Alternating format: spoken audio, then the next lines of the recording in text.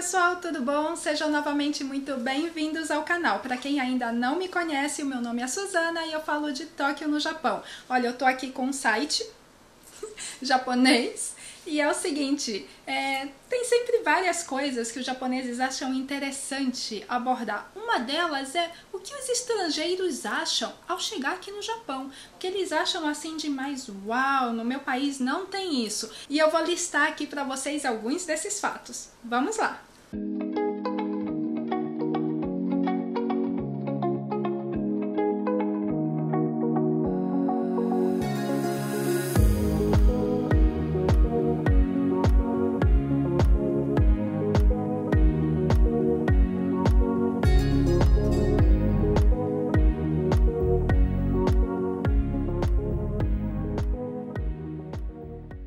Machigakirei.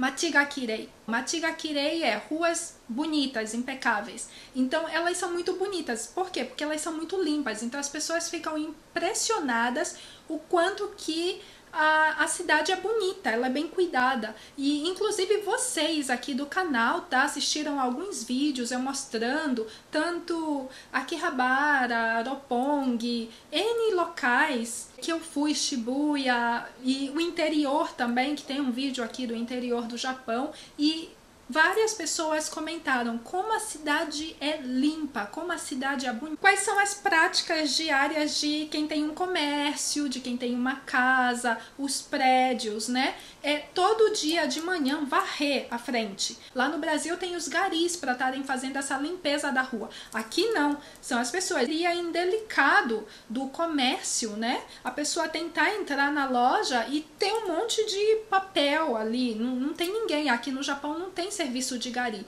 O que tem é à noite, pelo menos aqui em Tóquio, tem um caminhão que ele passa varrendo a rua somente. Né, ele faz uma limpeza, ele lava e esfrega. Tem um esfregão assim embaixo que ele passa. Tem, não sabe isso. É, tem são os atendentes. Então, todos os atendentes, em qualquer lugar que você for, eles vão sempre te atender muito bem. Então, por exemplo, se você entra numa loja de conveniência, ele sempre vai falar Irashaimase. Talvez ele não vá se curvar, ele grite de lá do fundo da loja, esteja ele aonde estiver, Irashaimase. Então ele sempre vai dizer Irashaimase e Arigatou gozaimashita. Tiangai, tiangai, tian. Tian é a segurança, né? E I é bom, então Tiangai. Então a segurança na cidade. Então, por exemplo, muitas pessoas perguntam: "Nossa, mas é seguro sair à noite, principalmente para uma mulher sair à noite?" Sim, gente, é seguro.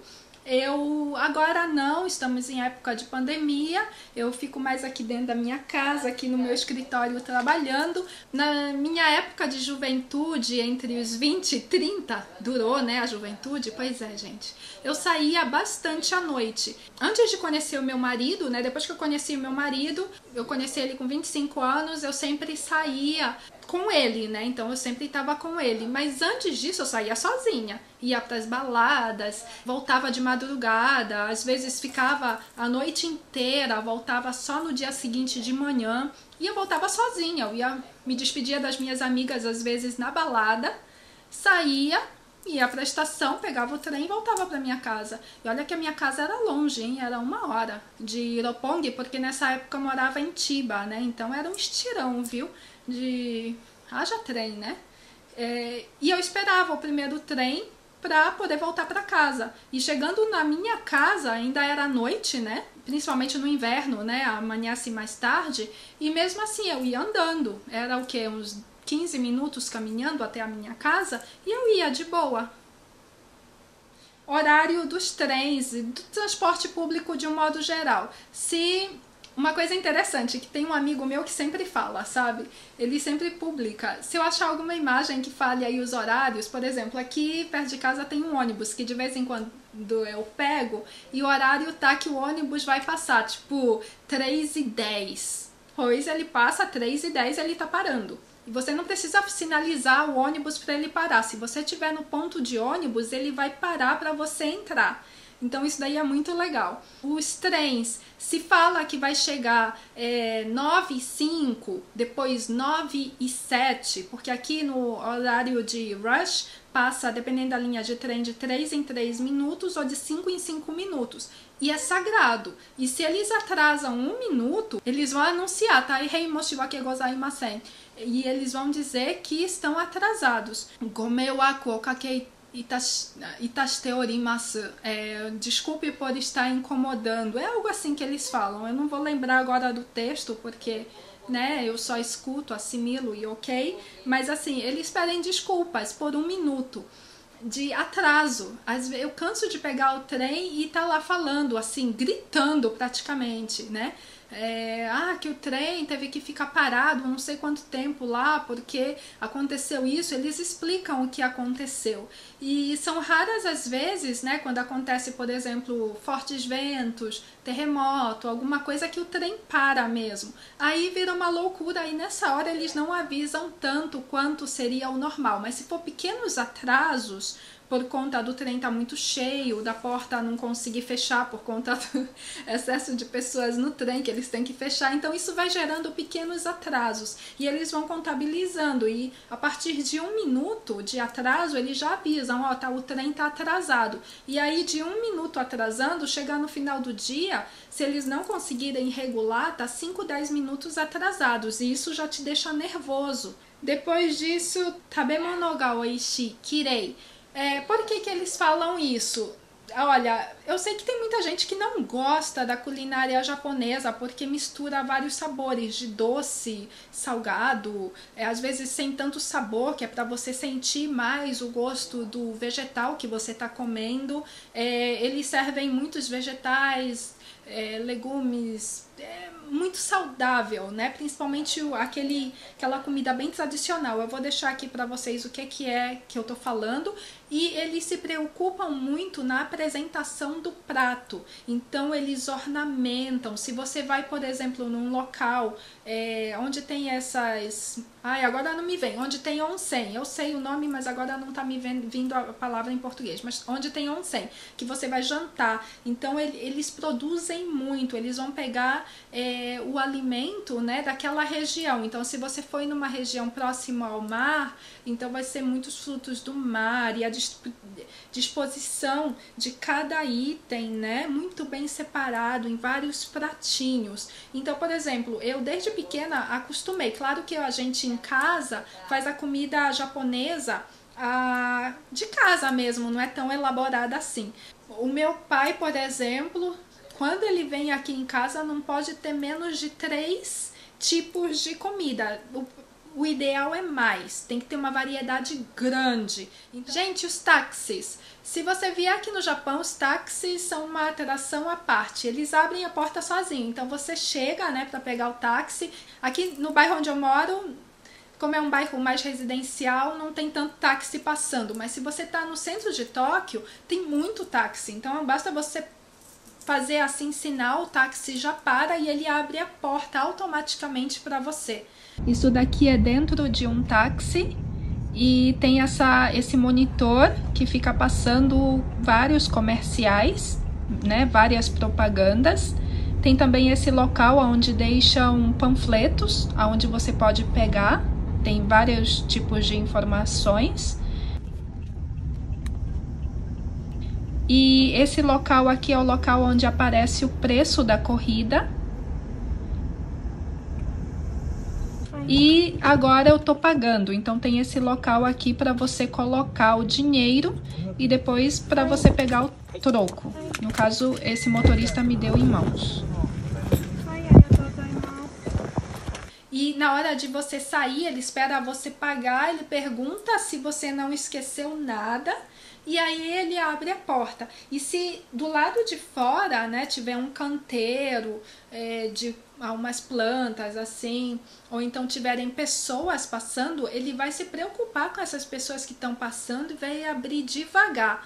Então é muito curioso. Uma outra curiosidade é em relação aos ônibus que eu falei, né, que tem a questão do horário, mas também tem mais uma coisa. Os ônibus eles param você não precisa fazer o sinal para parar, eles param e eles inclinam um pouquinho assim o ônibus, que é para ficar numa altura boa de você subir. E se, por exemplo, tiver um cadeirante, ele vai pedir desculpas pra gente, vai pedir pra gente esperar, o motorista vai sair do posto dele, ele vai pegar uma rampa, colocar, vai esperar o cadeirante entrar, ele vai posicionar o cadeirante, vai levantar a alavanca para a cadeira, né, ficar firme ali, não. E ele vai fazer tudo isso. Depois ele vai pegar o ônibus, voltar ele e vai pedir desculpas novamente, só então ele sai. Isso, vocês gostam de tomar café? Cafezinho? Eu gosto, não muito. Mas tá, eu tomo um cafezinho. Pois é, gente, aqui no Japão tem café gelado. No Brasil já chegou essa moda? Eu tô fora do Brasil há tanto tempo que eu não sei. Mas bem, aqui no Japão é muito comum, principalmente agora que nós estamos no verão, nessa época quente, mas não, não, importa, o ano todo eles servem café gelado. Vem o café preto, vou deixar aqui uma foto para tudo que eu tô falando, eu vou deixar as fotinhas para vocês entenderem o que eu tô falando. Eles colocam gelo até a boca e aí eles colocam o café gelado. E aí você pode tomar o café geladinho sem açúcar, sem nada. Você tempera depois da forma que você quer, com açúcar, com leite, do jeito que você quiser, mas é café gelado. Mas olha para o calor que faz esse calor japonês. Até café gelado tá valendo. Qualquer coisa que seja gelada tá valendo. Depois disso, é em relação à capacidade do japonês em falar inglês. Eigo ga tsujinai. Eigo ga tsujinai. Tsujinai é não compreender, eigo é inglês. Então, então é isso, gente. Os japoneses não sabem falar inglês. E daí os americanos, as pessoas que, até mesmo brasileiros que falam inglês e tal, as pessoas que falam inglês, de um modo geral, que chegam aqui pensam, ah, ok, as pessoas mais idosas não estudaram inglês, não sabem, não têm conhecimento, tudo bem mas os jovens não sabem. E o inglês ensinado nas escolas, ele é aquele inglês escrito, para você escrever, para você saber a gramática é, e tudo mais. Então, isso eu percebi que nos meus amigos japoneses eles tinham, tá? Alguns poucos que falavam, arrastavam um pouquinho de inglês principalmente na época que eu recém tinha chegado, é, foi muito importante saber um pouquinho de inglês para tentar me comunicar. Mas logo eu percebi que eles não entendiam, sabe? Fora a pronúncia, eles falavam, eu também não entendi. A pronúncia é muito ruim, porque eles não conseguem pronunciar o L, né? Então, hello fica harou. Então, fica assim, você que não está acostumado com isso, chegando assim de supetão no Japão, você se pega num mundo estranho, sabe, incompreensível. E fora as placas. Agora por conta das Olimpíadas que seria esse ano, né? Então você acaba vendo um pouco mais de inglês. Pelo menos aqui em Tóquio tem alguns comércios que já, né, o pessoal se preparou um pouquinho mais, você até encontra um pouco mais. Mas se você vai para o interior, ou então muitas vezes aqui em Tóquio, dependendo do bairro que você estiver, o inglês não vai adiantar de nada. Nada, nada, nada. Então é complicado. As informações também confusas. Se você vier aqui do Japão como turista, ok, não tem jeito, mas se você vier para morar, estudem. Estudem japonês. Você precisa do japonês para morar aqui no Japão. Não se acomode, mesmo que você for para a comunidade brasileira, não se acomode, tá? Estude, é necessário, você vai precisar para tudo, para você não passar perrengue em hospital, para você não passar perrengue em nenhum lugar. Você precisa, gente, não tem jeito, né? Então, mesmo que você vá morar, nem que seja só um ano aqui no Japão, estude o japonês, tente se comunicar com os japoneses. É isso. Eu não contabilizei quantos, mas eram vários aqui que eu falei para vocês. Se vocês gostaram desse tipo de vídeo, deixem aqui nos comentários que eu posso fazer muito mais aqui para vocês. Sempre colocando aqui um pouquinho das minhas experiências, né, que são muitas nesse decorrer dos 24, 25 anos que eu tô aqui. Então é isso, gente. Por favor, deixem o seu like, façam a sua inscrição e até o próximo vídeo. Até mais. Tchau, tchau.